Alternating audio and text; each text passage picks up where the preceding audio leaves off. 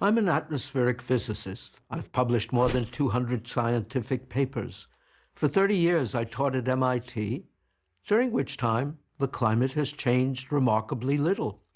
But the cry of global warming has grown ever more shrill.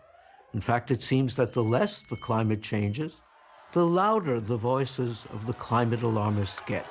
So let's clear the air and create a more accurate picture of where we really stand on the issue of global warming, or, as it is now called, climate change.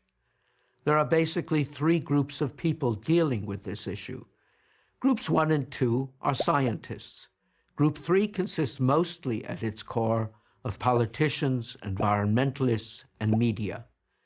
Group one is associated with the scientific part of the United Nations International Panel on Climate Change, or IPCC Working Group 1. These are scientists who mostly believe that recent climate change is primarily due to man's burning of fossil fuels, oil, coal, and natural gas. This releases CO2, carbon dioxide, into the atmosphere and they believe this might eventually dangerously heat the planet. Group 2 is made up of scientists who don't see this as an especially serious problem. It's the group I belong to. We're usually referred to as skeptics. We note that there are many reasons why the climate changes the sun, clouds, oceans, the orbital variations of the Earth, as well as a myriad of other inputs. None of these is fully understood and there is no evidence that CO2 emissions are the dominant factor. But actually, there is much agreement between both groups of scientists. The following are such points of agreement. One, the climate is always changing. Two, CO2 is a greenhouse gas without which life on Earth is not possible, but adding it to the atmosphere should lead to some warming.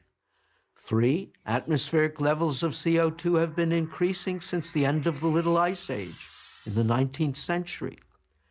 Four, over this period, past two centuries, the global mean temperature has increased slightly and erratically by about 1.8 degrees Fahrenheit or 1 degree Celsius.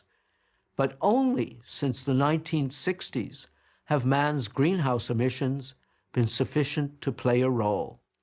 Five, given the complexity of climate, no confident prediction about future global mean temperature or its impact can be made. The IPCC acknowledged in its own 2007 report that, quote, the long term prediction of future climate states is not possible, end quote.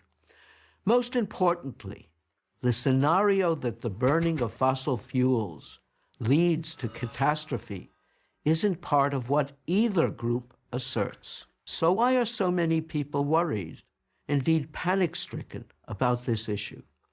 Here's where Group 3 comes in the politicians, environmentalists, and media. Global warming alarmism provides them, more than any other issue, with the things they most want. For politicians, it's money and power. For environmentalists, it's money for their organizations and confirmation of their near religious devotion to the idea that man is a destructive force acting upon nature. And for the media, it's ideology, money, and headlines. Doomsday scenarios sell. Meanwhile, over the last decade, scientists outside of climate physics have jumped on the bandwagon, publishing papers blaming global warming for everything from acne to the Syrian civil war. And crony capitalists have eagerly grabbed for the subsidies that governments have so lavishly provided. Unfortunately, Group 3 is winning the argument because they have drowned out the serious debate that should be going on. But while politicians, environmentalists, and media types can waste a lot of money and scare a lot of people, they won't be able to bury the truth. The climate will have the final word on that. I'm Richard Lindzen, Emeritus Professor of Atmospheric Sciences at MIT for Prager University. To subscribe to our YouTube channel, click here. To help keep our videos free, donate here.